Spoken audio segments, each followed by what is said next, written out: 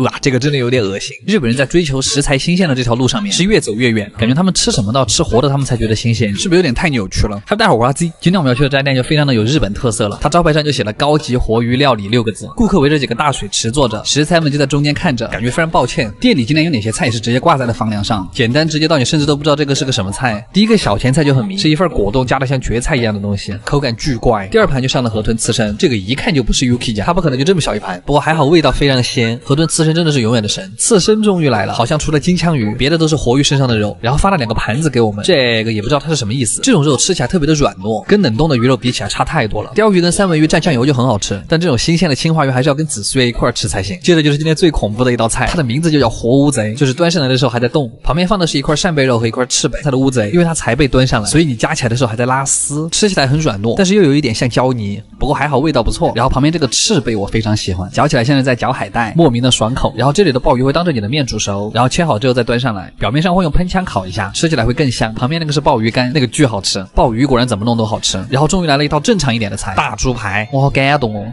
就是吃了那么多海鲜之后，突然有一个带油香的东西出现在你面前，这就是沙漠里的绿洲，然后就是炸河豚，这个炸的中规中矩吧。最后一道主菜就是黑毛和牛锅，感觉就是弥补了我今天吃过的生鱼。和牛煮出来就是特别的肥美，因为它的脂肪是甜的。最后的甜品是一个抹茶椰果冻，还有一个我们熟悉的鲷鱼烧配抹茶冰淇淋。这样一顿下来，其实就是什么都吃到了，还挺满足的。其实如果你吃不惯生的，也可以直接让服务员帮你做成熟的，就像这种天妇罗。但是偶尔也可以尝试一下生的，对吧有些是真的还可以。阿基推荐指数八分，卡玩意儿。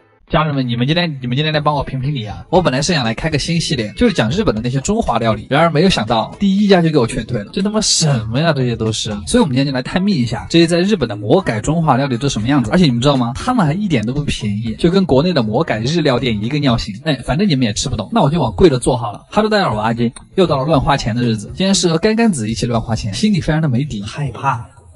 尴尬的是，我们好像是最后一桌到的。这种餐厅有个很装逼的地方，就是他每天只会在晚上六点接待一组客人。哎呀，不说废话了，最先上的前菜是分了六个小菜，北京烤鸭是单独一盘放的，非常给面子。其实光说味道的话，它是可以的，就是太少了。它一整只鸭就只切了这么一点，那剩下那一整只怎么办？扔了吗？啊这，然后是五星物语里面的第一个卤的牛舌，上面淋的黄色是不知道什么的咸甜酱，而且还是一个凉菜。下一个是一坨鱿鱼，就下面铺了一点米饭，怎么那么像寿司？然后是一坨生牛肉粒，为什么我走到哪儿都要吃生的？我不不想啊。旁边的蔬菜卷蘸一点蔬菜泥就可以吃了啊！绕口令吗？太好了，最后一个前菜了，这什么东西啊？对我们有这个菜吗？好像是某种墨鱼丝，非常的不合理。终于来了一盘正常的鸡汤小白菜，这个真好吃，鸡汤配上那个小虾的味道是真的绝。这个菜应该是学到了精髓。然后下一个菜有点把我无语到，他会把刻了他们家 logo 的冬瓜先给你看一眼，然后烹饪二十分钟之后给你端了一小杯冬瓜汤。家人们，你们觉得这个合理吗？这碗菜就像初中的恋爱，还没开始就结束了。接着是一碗馄饨啊，当然按这家店的尿性来说啊，肯定只有一个了。我感觉我就像一个试菜员，每个。菜我只吃一口，接下来这个菜你们肯定猜不到是什么，它是熟油海椒皮蛋加蒸蛋，皮蛋是铺在最下面，这什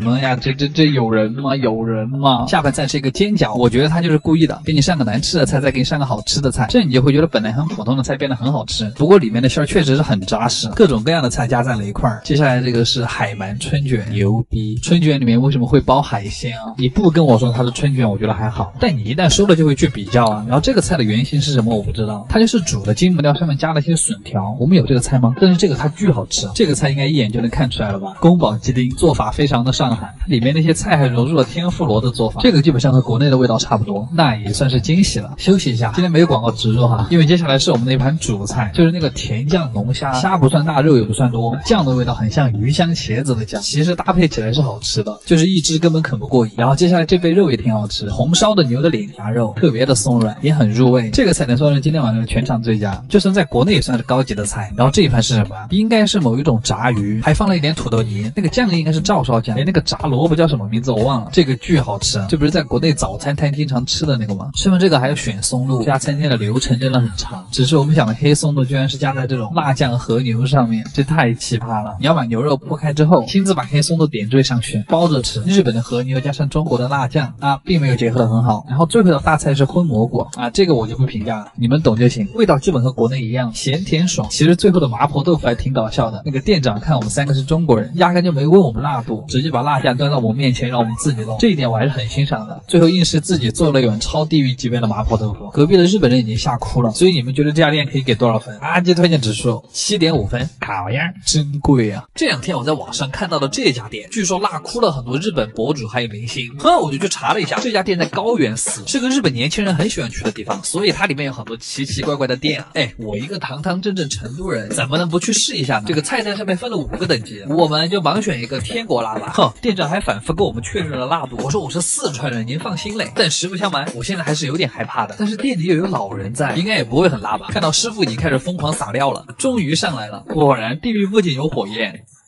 还有海椒面，这种被火焰烧过的叉烧特别香，表面已经烤得油脆油脆的。因为这个面真的很辣，所以建议搭配一碗米饭。我反正感觉比火鸡面更辣。上面的海带和鸡腿骨也因为被烧过，变得很香。再来口厚厚的叉烧，真的是太爽。哎，我最近因为吃了太多辣了，又熬夜剪片子，感觉整个人都不好了。所以还是不能太放肆，就托朋友从国内给我寄了这个熬夜元气茶。它里面有人参、枸杞、红枣、苦荞，都是对身体比较好的药材，不仅颗粒大，而且量很足，直接吃都可以。熬夜之后第二天来一杯，元气满满。泡出来的味道也很清爽，没有那种苦涩的药味，就很适合我们这种熬夜型人。好了，说回拉面，我们点了两碗面加一份铁板生蚝，一共才花了两百多块，吃的非常爽。阿基推荐指数八点五分，你们敢来吗？卡玩意儿，我操！今天这家店真的太实诚了，掐指一算又有三天没吃饭了，特别给力。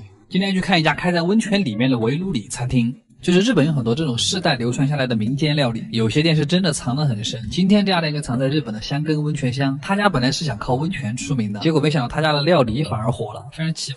不过今天我们在吃饭之前还是要泡个温泉，而且还要把每个池子都泡一遍，这样吃饭才会更香。哎，我说的。而且像这种森林温泉泡完之后身上都特别的软，感觉我现在可以吃下五只 Yuki 酱。虽然贪婪，来点菜吧。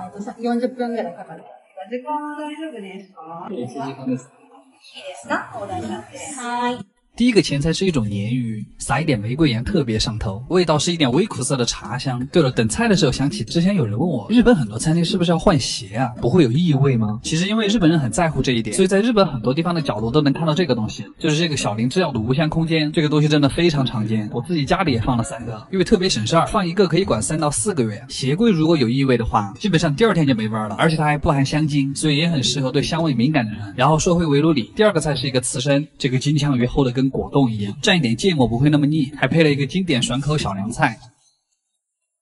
然后今天进入主菜特别的快，扇贝记得在烤熟之前加一点柠檬才会入味儿，一口还有点塞不下。